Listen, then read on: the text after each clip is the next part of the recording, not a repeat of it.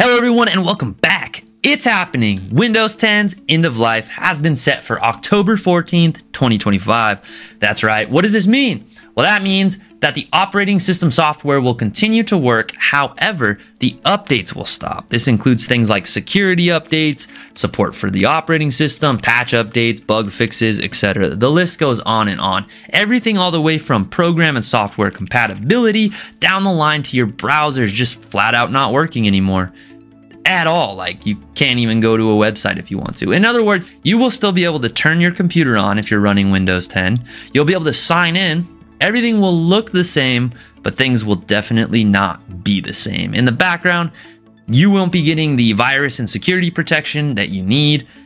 You won't be getting patch updates for things that are broken in the operating system that they know are there that need to be fixed, right? Like featured updates, ongoing updates, the things that keep the operating system running and going. And again, things are going to flat out stop working, right? So what are your options? What can you do, right? What is the alternative? What what what can you do? Well, let me tell you what you can do. The first thing is I want to cover again the worst possible thing that you could do, but I guess is still an option. I hate to even say it like that because it's really not. Is you could stay on Windows 10 until it finally just kicks the duff, dust, spits cough, coughs out dust right out of your machine and dies, right? Eh, not really, that was dramatic. That's not really what's going to happen. But eventually it's going to be so unusable that you're going to hate the experience. You're going to be on there trying to use it like you used to, and you're going to be like, why Windows 10? Why are you doing this to me? Well, it's not the operating system's fault.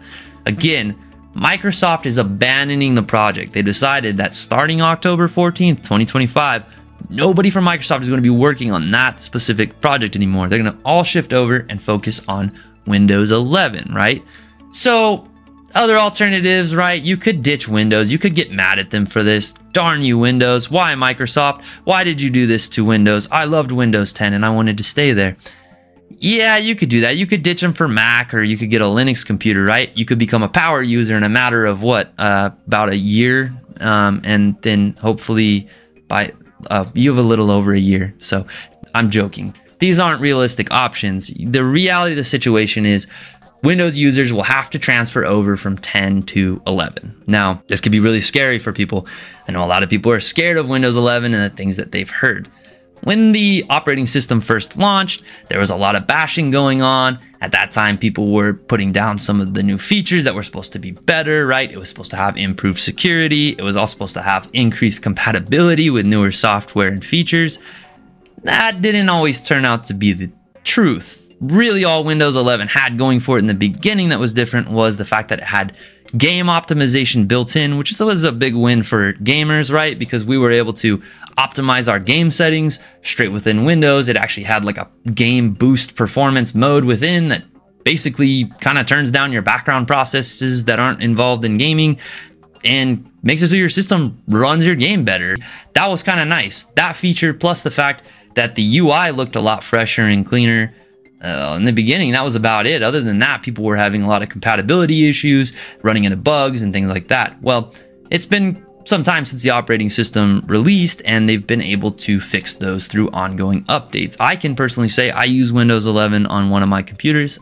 I like it. I don't mind it at all. It's just a new Windows version with a slightly different look.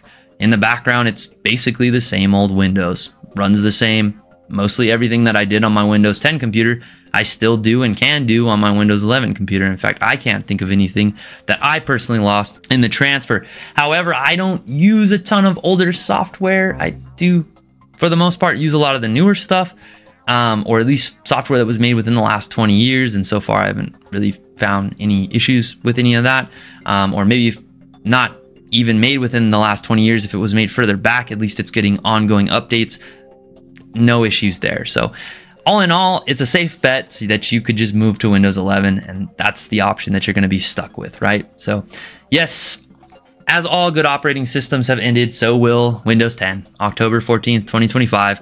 It is sad. I enjoyed it, but until then, we get to enjoy it for that last little bit. We still have a year and some time. So, and who knows, by then, maybe everyone will be in love with Windows 11. Maybe they'll make some drastic changes over there that are completely different and we fall in love with. Who knows?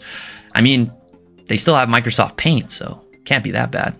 Anyway, I hope you all enjoy this video. If you're having any kind of anxiety or you have more questions about moving from Windows 10 to 11, or you need help moving from a Windows 10 to Windows 11 computer, that's exactly what we are known for. So come on down, call my Computer Works video, uh, numbers at the end of the video, at the beginning of the video, down in the comments.